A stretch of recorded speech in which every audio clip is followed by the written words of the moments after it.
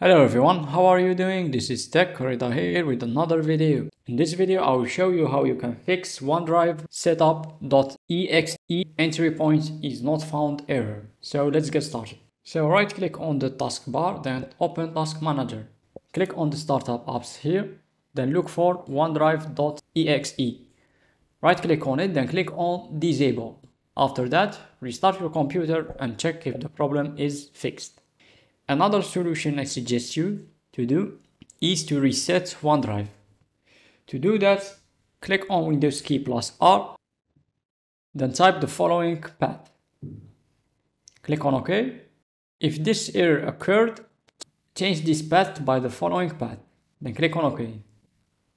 If the error occurs too, change the path to the following path instead, then click on OK.